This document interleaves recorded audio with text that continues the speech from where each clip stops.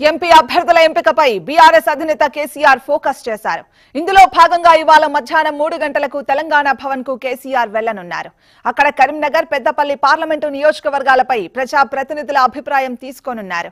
కరీంనగర్ నుంచి మాజీ ఎంపీ వినోద్ కుమార్ పెద్దపల్లి నుంచి మాజీ మంత్రి కొప్పుల ఈశ్వర్కు అవకాశం ఇవ్వాలని అధిష్టానం భావిస్తున్నట్లు తెలుస్తోంది. ఈ నేపథ్యంలో లోక్సభ ఎన్నికల్లో అనుసరించాల్సిన వ్యూహంపై కేసీఆర్ దిశానిర్దేశం చేయనున్నారు. ముఖ్యంగా ఉమ్మడి కరీంనగర్ జిల్లా నేతలతో సమావేశం కానున్నారు.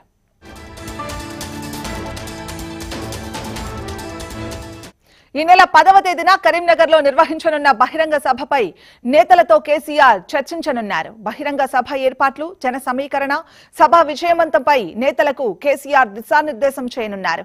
కాళేశ్వరం ప్రాజెక్టుపై ప్రభుత్వ నిర్లక్ష్యానికి నిరసనగా బీఆర్ఎస్ ఈ బహిరంగ సభ ఏర్పాటు చేస్తోంది.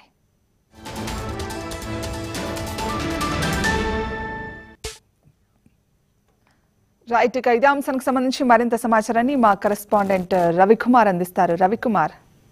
మాధవి ఇవాళ మూడు గంటలకు కేసీఆర్ తెలంగాణ భవన్కు రానున్నారు. ముఖ్యంగా రెండు పార్లమెంట్ సెగ్మెంట్లకు సంబంధించినటువంటి లీడర్లతో సమావేశం కానున్నారు. అంతేకాకుండా ఈ నెల పదవ తేదీన కరీంనగర్లో భారీ బహిరంగ సభ నిర్వహించాలని బీఆర్ఎస్ ఇప్పటికే డిసైడ్ అయింది. ఇందుకు సంబంధించి ముఖ్యంగా కాళేశ్వరం ప్రాజెక్టుకు సంబంధించి గత ప్రభుత్వాన్ని పూర్తిగా బీఆర్ఎస్ పై పూర్తిగా డ్యామేజ్ చేసేందుకు కాంగ్రెస్ ప్రభుత్వం కుట్ర చేస్తుందని ముఖ్యంగా చిన్నపాటి లోపాలు ఉన్న వాటిని సవరించకుండా రాజకీయం చేస్తుందని చెప్పేసి ఇప్పటికే బీఆర్ఎస్ సంబంధించినటువంటి నేతలంతా కూడా మేడిగడ్డ అన్నారం విజిట్ చేసినటువంటి పరిస్థితిని భారీ బహిరంగ సభ ద్వారా కేసీఆర్ ఈ కాళేశ్వరం సంబంధించినటువంటి అంశంపై మాట్లాడనున్నారు.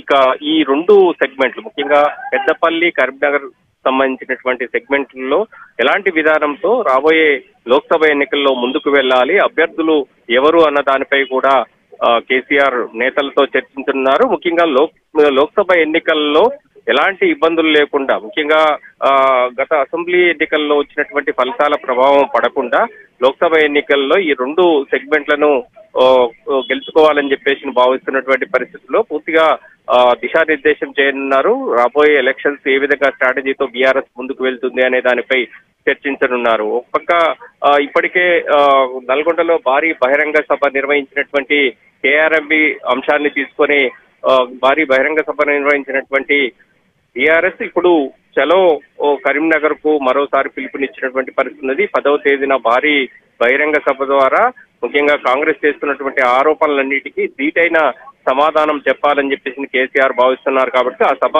విజయవంతం చేసేందుకు ఆ జిల్లాకు సంబంధించినటువంటి ఉమ్మడి జిల్లా నేతలతో సమావేశం కానున్నారు. మూడు గంటలకు కేసీఆర్ రాగానే ఈ సమీక్ష సమావేశం స్టార్ట్ కానున్నది. మాధవి. రైట్ రవికుమార్.